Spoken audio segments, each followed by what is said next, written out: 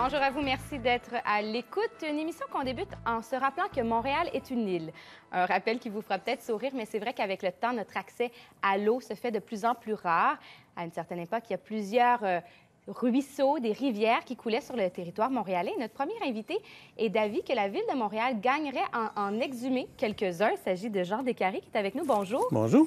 Vous avez été euh, urbaniste, Oui. notamment à la ville de Montréal, pendant plusieurs années. Ça. Vous croyez qu'il est temps qu'on mette un peu l'accent sur la revitalisation Oui. de l'eau de façon plus globale à Montréal? Absolument. Il est grandement temps. On est même très en retard.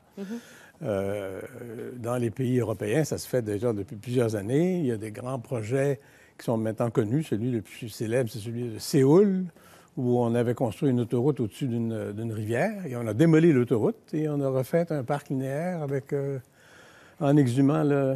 On n'en est pas là On encore, n'est pas encore là, à. Montréal. Euh, Dites-moi, est-ce que la- vous sentez que la ville est en train de développer une volonté en ce sens, où il y a encore beaucoup de travail à faire en amont? Il y a encore beaucoup de travail à faire. Je pense que la volonté, euh, l'idée s'exprime, en tout cas, c'est c'est connu.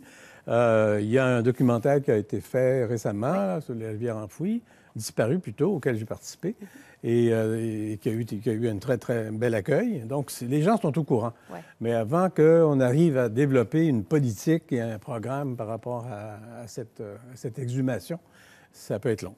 Oui, parce qu'à une certaine époque, euh, on en parlera un peu plus tard de ces ruisseaux disparus avec euh, notre chroniqueur des Archives de Montréal. Mais à une certaine époque, plusieurs de ces ruisseaux ont été canalisés. Ça Oui. a créé une véritable ville souterraine, en fait. Absolument, absolument. Quels sont les efforts nécessaires à l'exhumation d'une rivière? C'est pas simple, euh, surtout quand, quand c'est des, dans des villes qui ont été construites il y a longtemps. Les, les sont enfouis depuis 150 ans. Euh, le développement urbain est intense. Euh, il faut que ça prenne de l'espace. On ne peut pas démolir la ville pour faire ça. fait. Donc, il y a certains, on ne peut pas faire ça partout. Il, faut, il y a certains endroits spécifiques où il y a un dégagement, où on peut le faire. Euh, par exemple, dans le, dans, dans le dossier de Turcot, par exemple, à la course Turcot, il y a eu une possibilité d'exhumer euh, la, la rivière Saint-Pierre, qui est une des deux plus grandes rivières coulant du Mont-Royal. C'est celle qui passe par l'ouest. Et donc, ça, c'était possible, mais... euh, le- le- Est-ce que c'est coûteux? Ça demande un investissement important, non, si on le fait dans un, dans un site comme celui-là, qui est Mhm. ouvert actuellement, il n'y a pas tellement de problèmes. Et, puis encore une fois, on ne peut pas démolir un quartier pour faire ça, c'est pas possible. Mais on voit dans plusieurs, euh, euh, autres villes, euh, en Angleterre, en, Allemagne beaucoup également, qu'on se sert tout simplement des, de, parcs existants, de grands parcs, des friches souvent, comme bassin de rétention. Alors, euh, on n'a pas besoin- à ce moment-là, simplement l'eau monte quand il y a, une- quand il y a beaucoup d'eau, quand il y a une fonte Ouais. des neiges ou une grosse pluie. L'eau monte, remplit le- le- un vallon dans un parc, puis après ça, ça baisse tranquillement. Est-ce que c'est ce qui a été fait du côté euh, du parc du ruisseau du Cap-Saint-Jacques pour le ruisseau de, Mon- de Montigny? Euh, oui, mais c'est pas du côté de Cap-Saint-Jacques, ça. Le buisson de Montigny, c'est euh, dans les rivières des Prairies, Ah, à l'est, dans l'axe de la- l'autoroute 25. Oui, C'est ça. dans le coin d'Anjou. Oui, c'est ça, Anjou. Est-ce que c'est ça. enthousiasmant ce qui a été fait là-bas? C'est le, seul et, le- et donc le meilleur euh, projet qui a été fait à Montréal, mais ce n'est pas vraiment une exhumation parce qu'il était déjà à l'air, Mm-hmm. libre. On a tout simplement, euh, on l'a tout simplement transformé en un bassin de rétention en faisant un petit barrage. Donc, on a haussé et on a, ça a permis de faire un, un lac avec trois ou quatre Mm-hmm. euh, baies.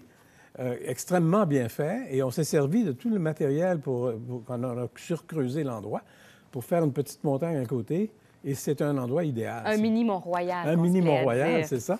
Et puis, c'est un quartier urbain de, de- de très bonne qualité, en plein milieu d'une zone complètement industrielle. Parce que c'est ça, ça a permis Oui. carrément le développement d'un quartier résidentiel. c'est ça. Est-ce que c'est un des principaux avantages? Ah ben oui, c'est même le principal avantage, c'est- évident. Parce que quand vous faites ça, quand vous exhumez un, un ruisseau, vous en faites un parc linéaire, Ouais. euh, vous créez automatiquement une valeur, vous, vous décuplez la valeur immobilière de chaque côté. Et donc, c'est là qu'on peut faire du développement urbain de grande qualité et de grande valeur. Et on pourrait certainement pas le faire partout, par non, contre. non, non, Il y on a peut pas le certaines faire conditions Ah oui, qui oui, doivent être c'est ça. Ça prend quand même un espace un peu dégagé, euh, et puis, euh, ou alors, un- un- oui, c'est ça. oui. Vous dites, euh, vous avez déjà dit lors d'une entrevue que vous êtes le spécialiste des causes perdues. Et comme vous avez du temps devant vous, étant retraité, que les organismes vous appellent, Voilà. est-ce que c'est réellement une cause perdue, celle des, des ruisseaux? Non, au contraire. Celle-là, c'est pas une cause perdue. Ouais. Je pense que c'est une cause qui, euh, de- dans les prochaines euh, décennies, devrait, euh, devrait ressortir parce que là, il y a un intérêt euh, financier monétaire Alors, à ce moment-là, en général, les, dirigeants, les gouvernements aiment ça. Euh, mais il va falloir qu'il y ait un programme, il va falloir qu'il y ait une vision, qu'il y ait une politique et des programmes qui soient définis. Et ça, c'est pas encore en place. Il y en a déjà eu à une certaine époque, là, des programmes qu'on avait tenté de mettre en place, qui n'ont pas levé. Euh, on pense par exemple plus récemment à la coalition Avenir Québec qui veut revaloriser le fleuve Saint-Laurent, l'accès aux berges. Ah oui, ça, c'est Est-ce autre que chose. tout ça doit s'inclure dans une même... Pas euh, forcément, non. C'est pas, non, c'est pas forcément, c'est pas, c'est très différent. Là. Dire, la mise en valeur des, des rives Mhm. du Saint-Laurent, c'est complètement autre chose. Là. Euh, moi, j'ai beaucoup travaillé là-dessus. J'ai été au projet Archipel, etc. Je connais très bien ce dossier-là. Et, mais euh, la question des ruisseaux, c'est un, c'est, c'est un- C'est une beaucoup échelle plus du- local. Ben oui, c'est beaucoup plus local.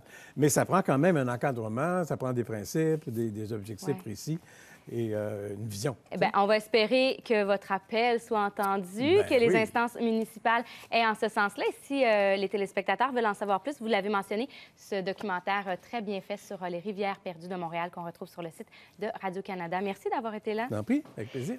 Et justement, ben, on va parler euh, de ce qui est à l'origine de ces ruisseaux, ou en fait, euh, comment euh, la ville, à un certain moment de son histoire, a décidé de les enfouir avec notre chroniqueur des Archives de Montréal, Mario Robert. Bonjour. Bonjour. Qu'est-ce qu'on sait des ruisseaux montréalais au moment là, de la fondation de Montréal? Ben, quand Jacques Cartier, euh, Jacques Cartier, Paul Cheminée de Maisonneuve, euh, Jeanne Mance et euh, le groupe de colons s'installent, arrivent, atteignent l'île de Montréal le 17 1642.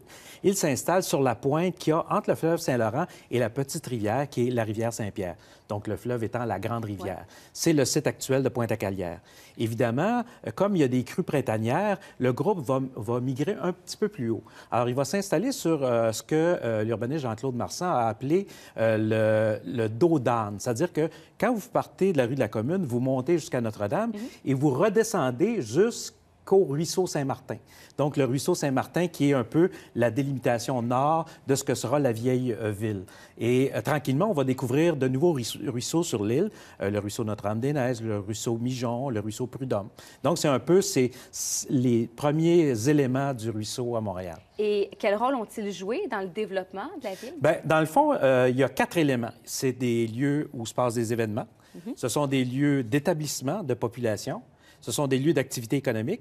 Et c'est aussi un obstacle. Par exemple, si on commence par le- le- les lieux d'événements, en 1690, à- il y a un combat qui a lieu à la coulée Grou.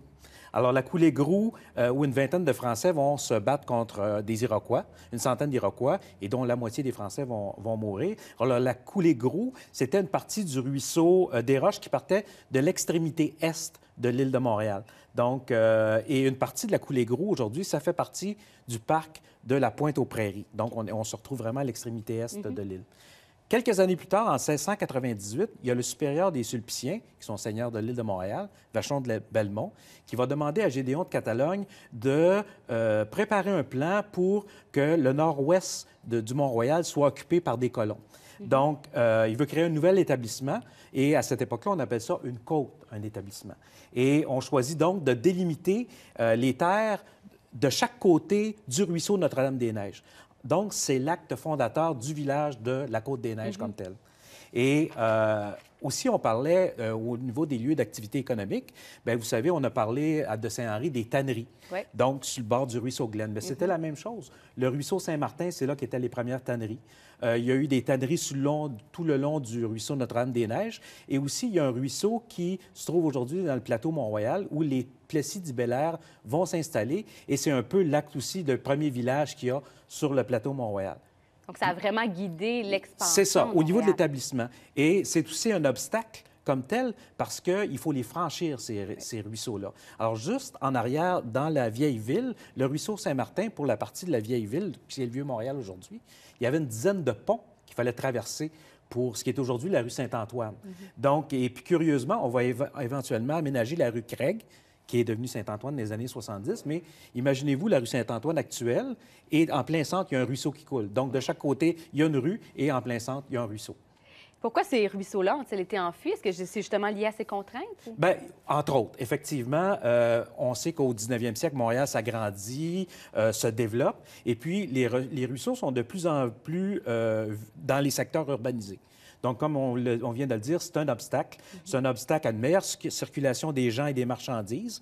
Et euh, aussi, il faut les contourner. Donc, ça prend des ponts, euh, le niveau de l'eau monte, donc ça crée des inondations. Donc, c'est un paquet, il y a une problématique au niveau de la circulation de- de- des marchandises et des gens. Et l'autre aspect, c'est l'aspect De euh, de, la, Mm. de la santé publique. Euh, parce que euh, les cours d'eau sont pollués de déchets. Euh, et d'autres matières, je ne vous nommerai pas les noms, qui font craindre les maladies. Et euh, dans le fond, ce sont des égouts à ciel ouvert, ces, euh, ces ruisseaux-là. Donc, pourquoi? C'est là que vers 1837, juste à l'époque de la rébellion, on en a parlé la semaine Ouais. passée, on va commencer à, à faire des travaux, justement, euh, d'enfouissement et qui vont durer plutôt la décennie suivante qui vont se, se rendre jusqu'à la fin du euh, 19e siècle. Et l'un des grands promoteurs de, euh, de, de cet enfouissement des ruisseaux, c'est le docteur Pierre Beaubien. Alors, on a déjà parlé, parce que c'est lui le, le terrain du marché Jean Talon. Tout à fait. Alors, il y a toujours des liens entre les Ouais. chroniques en quelque part. Alors, qui était euh, un docteur et qui, lui, l'aspect de l'hygiène publique, pour lui, était majeur. En terminant, quelques mots, quelques informations sur euh, le ruisseau Rimbaud, qui lui est dans le Côte-des-Neiges. Bien, le ruisseau Rimbaud est au bout de la rivière des Prairies. Et c'est évidemment la continuité du ruisseau, du ruisseau Notre-Dame-des-Neiges. Et comme il passait sur euh, la terre de Pierre Rimbaud, euh, qui était beaucoup de terre qu'il y avait à Ville-Saint-Laurent, qu'on appelait Ville-Saint-Laurent à l'époque, il a pris ce nom-là. Euh, il a été entièrement canalisé, mais il y, a, il y a une partie qui existe toujours et qui se situe dans le parc Rimbaud. Et je pourrais vous raconter des histoires d'horreur dans les années 50 où le ruisseau est absolument, c'est une mer d'huile et qui prend feu automatiquement. Un incendie à l'hôpital Sacré-Cœur qui fait en sorte qu'on a peur que tout le secteur s'embrase justement à cause de- du fait que le ruisseau est huileux. Et évidemment, heureusement, euh, on a regardé la partie pour en faire un parc là, euh, au bout de près de la rivière des Prairies. Et j'imagine que vous êtes du même avis que M. Descaries. Ça vaudrait la peine peut-être de mettre quelques efforts pour en exhumer quelques-uns. Merci, M. Robert, d'avoir été avec nous. On visite le site des Archives de Montréal pour euh, tous les détails sur cette chronique.